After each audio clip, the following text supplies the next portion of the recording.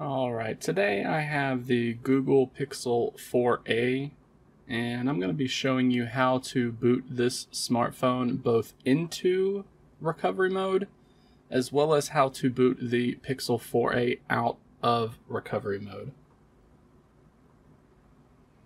So yesterday I showed you how to boot this device into fastboot mode and I actually need to do that in order to get into recovery mode. So we're going to power down the device. We're going to wait for it to be completely shut off. And then we're going to be pressing and holding the power button and then the volume down buttons at the same time.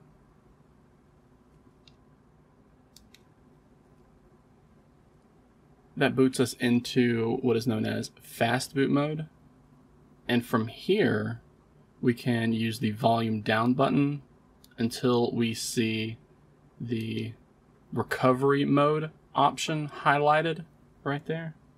And then we press the power button to select that option. Now we can also boot over into recovery mode with an ADB command, such as ADB space reboot space recovery. But this with the button combination is usually the preferred method.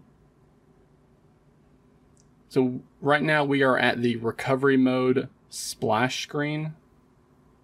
And we actually need to bypass this in order to get to the recovery mode main menu. And just like before, we're going to need to do a button combination here. This time we're going to simply press the power button and then immediately after pressing that power button, we're going to press the volume up button and when you have to time it properly. And when done, when timed properly, you can see it will get us past that splash screen and into recovery mode. And it can take you a few times until you get that timing set, but just keep trying. And if you have to, just reboot back into recovery mode to get to where you need to go. When you see this screen, this means you have booted into the stock Android recovery main menu.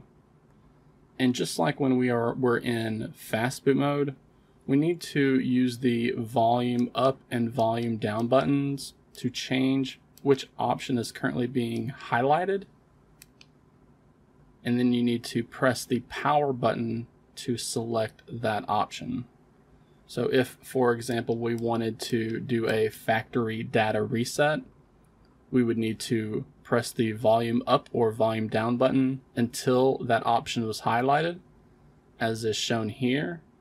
And then you press the power button to select that option. I'm going to cancel out of that, but as you can see here, we're just using the hardware buttons to navigate this screen.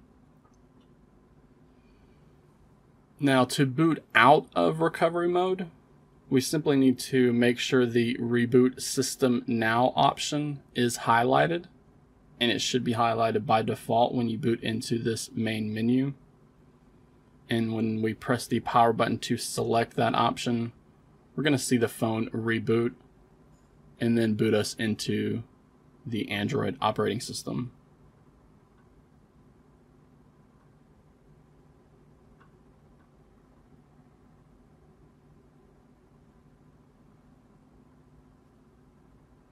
Now, if you chose that option and then you notice that the phone is stuck in a boot loop or it just rebooted back into recovery mode or fastboot mode, then it is likely means there's something wrong with the Android operating system itself. The phone actually attempted to boot into Android, but whatever is causing the issues prevented it, so it kicks back out and takes you to either recovery mode or fastboot mode. If you're stuck in something like that and you cannot boot back into Android, then just like I showed you from recovery mode, you're going to need to do a factory data reset. Then you can boot back in, into the Android operating system.